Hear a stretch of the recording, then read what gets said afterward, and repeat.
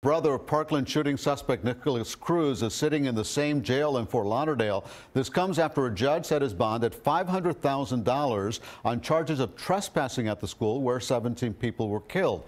CBS 4's Carey Codd continues our team coverage. He's live at the Broward County Jail with new details for us. Carey.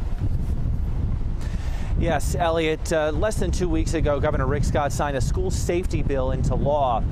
And an important element of that bill is now being used against the brother of confessed school shooter Nikolas Cruz to try to prevent Zachary Cruz from getting his hands on a gun.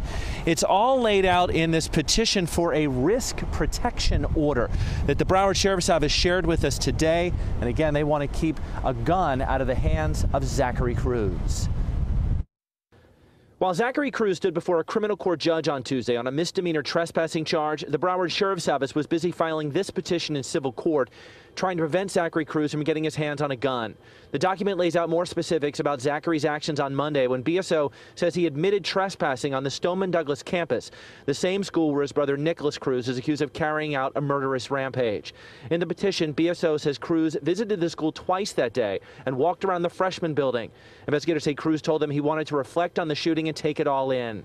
The petition says Cruz admitted he's visited the campus three times since the deadly shooting, but BSO says Cruz has no reason to be on school property, and after being warned that he's not allowed on campus, he's returned multiple times since the shooting. The sheriff's office doesn't want Cruz to get a firearm. Their attorney's right. There's reason to believe Cruz has a mental health illness, is a danger to himself, and that Cruz poses a significant danger of causing personal injury to himself or others by having a firearm or any ammunition in his custody or control, or by potentially purchasing, possessing, or receiving a firearm or any ammunition. The petition says Cruz has shown a pattern of violent and combative behavior over the past six years. Information released by BSO shows at least 23 calls for service to the Cruz home for Nikolas and Zachary Cruz dating back to 2008. The calls for Zachary related to domestic disturbances for hitting things, leaving home and causing trouble for his mother. Zachary Cruz attended Stoneman Douglas High until last November.